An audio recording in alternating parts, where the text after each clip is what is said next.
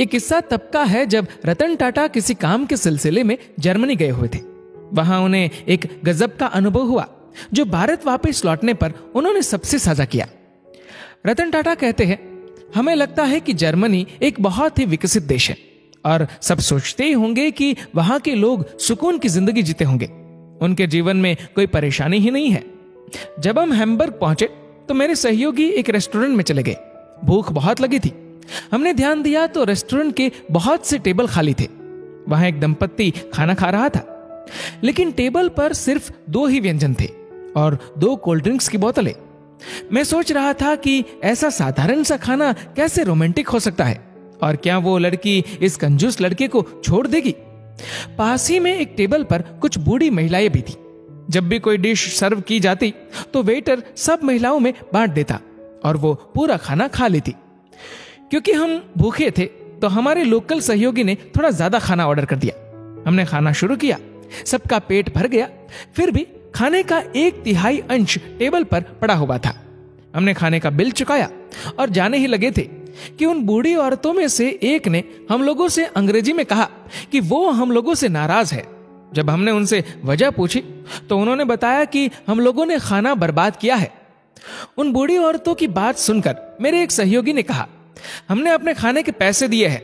आप कोई नहीं होती हमें कहने वाली कि हमने खाना बर्बाद किया। महिलाएँ और गुस्से में आ गई। उनमें से एक महिला ने किसी को फ़ोन लगाया। कुछ देर बाद वहाँ एक व्यक्ति आया, जो कि सोशल सर्विस ऑर्गेनाइजेशन से था। मामला समझने के बाद उसने हम पर 50 यूरो का फाइन लगा दिया, यानी कि लगभग चार हज़ार भारतीय रुपए। हम सब अब खामोश थे। ऑफिसर हमसे कठोर आवाज़ में बोला, उतना ही ऑर्डर करिए जितना आप खा सके। माना पैसा आपका है, लेकिन संसाधन पूरे समाज के हैं। दुनिया में ऐसे बहुत से लोग हैं, जिन्हें दो वक्त की रोटी भी नसीब नहीं होती, और आपके पास कोई ऐसी वजह भी नहीं कि खाने को यू बर्बाद करे। इस अमीर और विकसित देश की मानसिकता देखकर हम काफ़ी लज्जित हो चुके थे। हम ऐसे देश से है जो संसाधनों में बहुत समृद्ध नहीं है।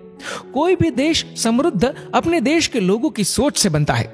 जब भी हम किसी को पार्टी दे रहे होते हैं तो शर्मिंदगी से बचने के लिए हम बहुत अधिक मात्रा में ऑर्डर कर देते हैं और बाद में उस खाने को बर्बाद करते हैं। लेकिन शायद हम ये नहीं जानते कि भारत में लगभग 40 प्रतिशत खाना बर्बाद होता है और 19 करोड़ से भी ज़्यादा लोग हर रोज भूखे सोते हैं।